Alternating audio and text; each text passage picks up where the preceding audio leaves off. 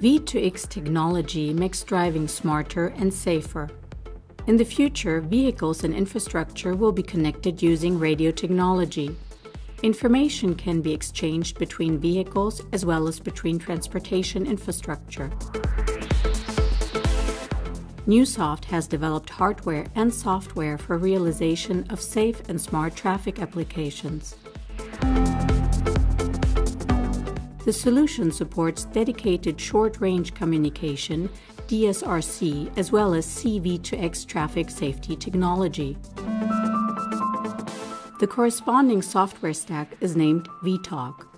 A layered and modular design approach allows flexible use on different control units. It is hardware agnostic and is applicable for the main markets China, North America, and Europe.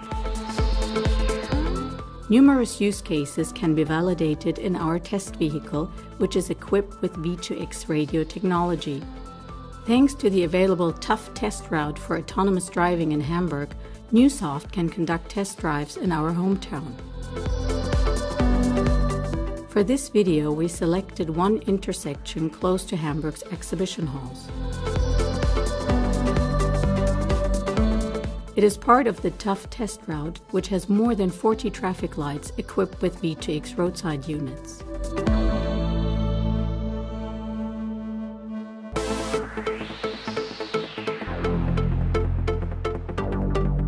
The T-shaped intersection Lagerstraße-Karolinenstraße was chosen for the film location.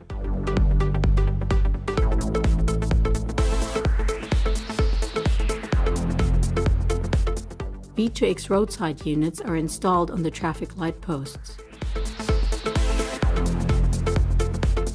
This video demonstrates two day one use cases to understand the value of V2X. Both cases are based on information exchange between vehicles as well as roadside units. Vehicles broadcast their position, direction, and speed using common awareness messages.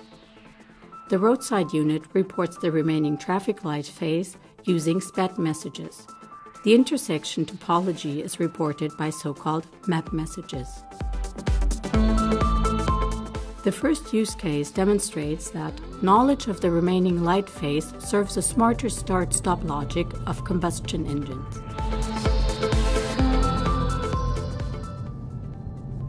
Our test vehicle approaches a red traffic light.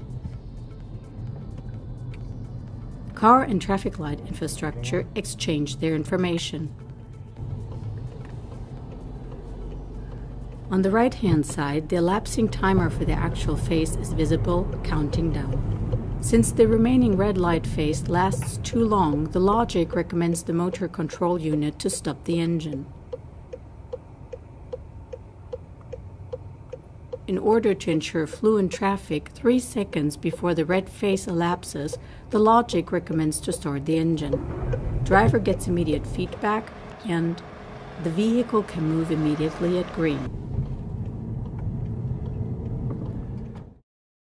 The next use case is a green light optimal speed advisory, in short, GLOSA, meaning Based on the available light phase information, the logic is capable to calculate the recommended speed, allowing a rolling start without stop. On the left, you can see the speedometer. Above it, in the middle, is the calculated recommended speed to hit the green light. If the driver follows the recommendation, his journey can continue without interruptions.